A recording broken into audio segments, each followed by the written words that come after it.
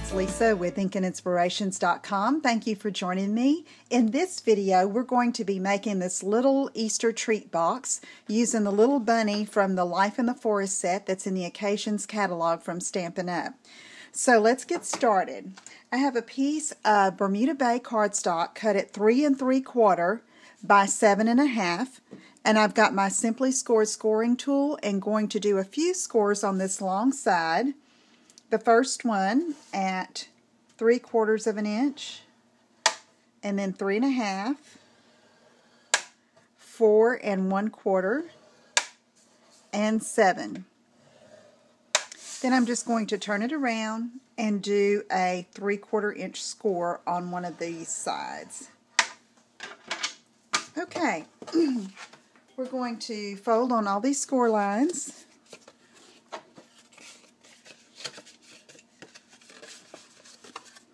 My bone folder.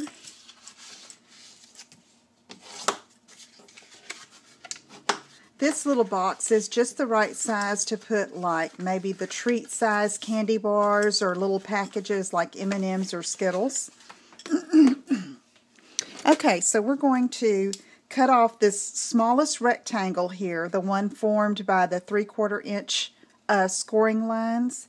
And so let me just cut that off. and then we're going to cut up on all of these other scores.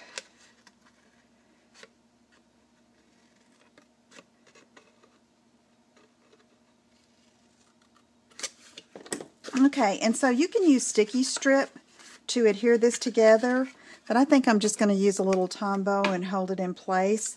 Once this dries, this is an excellent adhesive too. Uh, sticky strip just uh, um, provides a quicker stick. You know, you don't have to sit here and hold it for just a few seconds. But we don't mind doing that. So I'm going to do that. And then, as we're looking at this, the seam is here. So we're going to call that the back of our box. And so we'll fold these two sides in first. And then the back. And then I'm going to bring this one, that'll be the front here, and we'll put adhesive on that last tab. Okay, so let's um, go ahead and embellish the front. hold that just a second. I have a piece of this designer series paper. I think it's the geometrical. I'll have to. I'll have it on the screen, and uh, it is cut at two and a half by two and three quarter. So that's going to cover the front of the little box and whoops and leave um, about a quarter inch all the way around. Let's see, I want to do this. Okay. Now for our image, I'm going to take just a piece of Whisper White cardstock and Jet Black StazOn and I'm going to ink up this little bunny. He's kind of a funny bunny. Cute.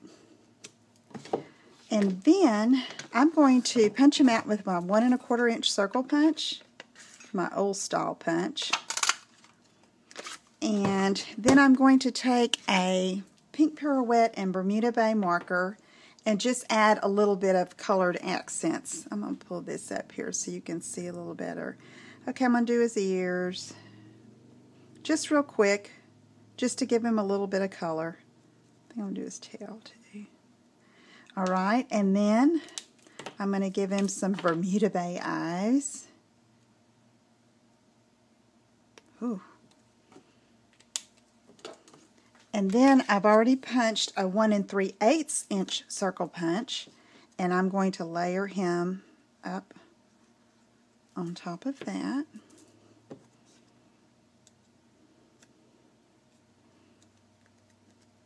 And then he's going to go on the front of the box here. And if you wanted to, you could add a Happy Easter sentiment. I'm just going to leave mine plain. Okay, now I'm going to take my Stampin' Pierce mat and a my paper piercing tool, and I'm going to put a hole in each side of the box. And then I'm going to take some craft wire You can find this most anywhere. This that I have was Stampin' Up! sold it years ago, so I still had some in my stash. It's about 8 or 10 inches long, and then I take it and I just curl it around my finger a couple of times to give it that little fun top. And then we're going to put it in. Oh, my bunny's moving. Put it in on the side here. And this, you wouldn't want to uh, give this to small children without a protection. So if you were doing this for little kids, I would wrap the end of this wire in um, tape or something, clear tape, to keep them safe from this sharp edge here, okay? I like to bend mine down a little bit. I'll probably do that with this tool. Let's see. And then come on the other side.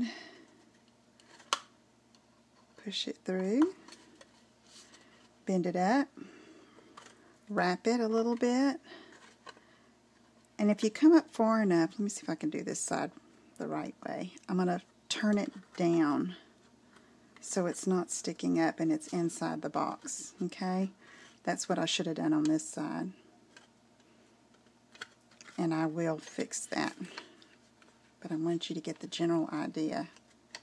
Okay. So now let's take a piece of this narrow Bermuda Bay ribbon and just tie it in a bow up here. And then I'm probably going to rob my scrunched paper from my previous sample and to stuff it. I just, um, the yellow in here is summer star fruit. So I sliced up some thin slices and crinkled it up. And you can stuff your candy in there and then put the little topping. And there you have a fun little Easter basket or Easter box that you can put some treats in. Okay, so if you'll go over to my blog, inkandinspirations.com, and leave a comment under where, the post where this video is, you can, uh, I'm going to choose one person to receive the supplies to put this box together. Okay, so head on over there and do that. Thank you for joining me, and I will see you again soon. Take care. Bye bye.